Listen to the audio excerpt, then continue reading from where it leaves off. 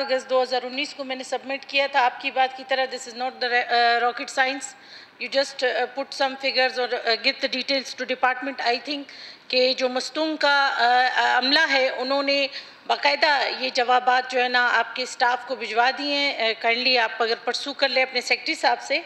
जनाब, मेरे सवाल को अगर यहाँ रेस करने का भी मकसद यही है यानी यहाँ से आप ले ले total distance from Quetta to Mastung it's only 45 minutes और one hour not then more तो सर, अगर काइंडली अगर आप मेरी जगह आप ख़ुद भी कभी जाके वहाँ पे विज़िट करके देख ले, ये जो ऑफ़िस है सोशल वेलफेयर डिपार्टमेंट हम जहाँ भी बनाते हैं, वहाँ पे गरीब, माजूर, ऐसे लोगों की एक्सेस ईजीली हो। लेकिन जो डिस्ट्रिक्ट मस्तुंग है जहाँ का सोशल वेलफेयर ऑफ़िस एक पहाड़ी के ऊपर बना हुआ है वहाँ पे यानी हमें जाने में इतनी दिक्कत है तो कोई माजूर है जो फार फ्लंग एरिया से होकर आते हैं तो उनके लिए एक्सेस जो है ना वो बिल्कुल भी नहीं है बिल्कुल इस बिल्डिंग तक जा नहीं सकते। और जो इसकी हालत के हवाले से आ, मैंने बात की है वंस आई सो यानी सोशल मीडिया आजकल है लोग बड़े चीज़ों को शेयर करते हैं तो मैंने देखा वहाँ पे कुछ लोग बैठे हुए हैं जो आ, सोशल वेलफेयर के ऑफ़िस और उस हमले को भी मैं सलाम पेश करती हूँ कि वो इस तरह की बिल्डिंग में बैठे हैं।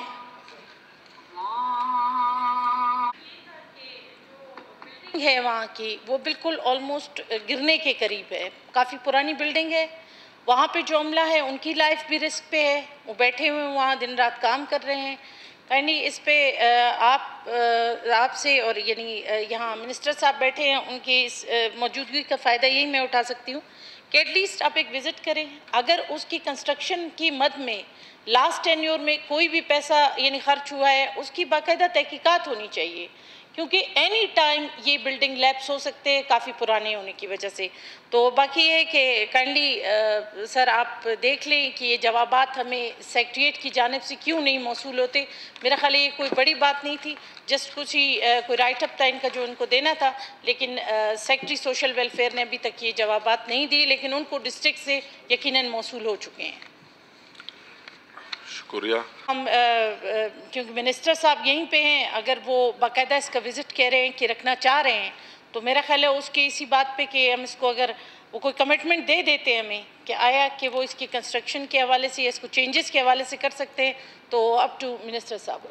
जनाब स्पीकर साहब इसमें मैंने पहले भी से उसकी हालत ख़राब है। वो हम भी चाहते हैं निशानदेही किया मैंने शुक्रिया भी अदा किया। हम चाहते हैं कि इसको में सही करें उस वक़्त तक अगर ये सही नहीं हुआ हम तो फिर एक तो ऊंचाई पे उसको सही करने का कोई फ़ायदा नहीं है क्योंकि जिस मकसद के लिए डिपार्टमेंट बनाया गया डिसेबल लोग वहाँ जा नहीं सकते। हम चाहते हैं कि किराए के तौर पे महकमा हमवार ज़मीन पे कोई ले जाए ऐसा महकमा कि कोई बिल्डिंग है प्राइवेट बिल्डिंग ताकि लोगों को तकलीफ़ ना हो। तो इसका तो मेरे ख्याल में कोई जवाब महकमे से क्या आ गया? ना ना सही है बस आप मिनिस्टर साहब ने यकीन यानी करा दी इस हवाले से।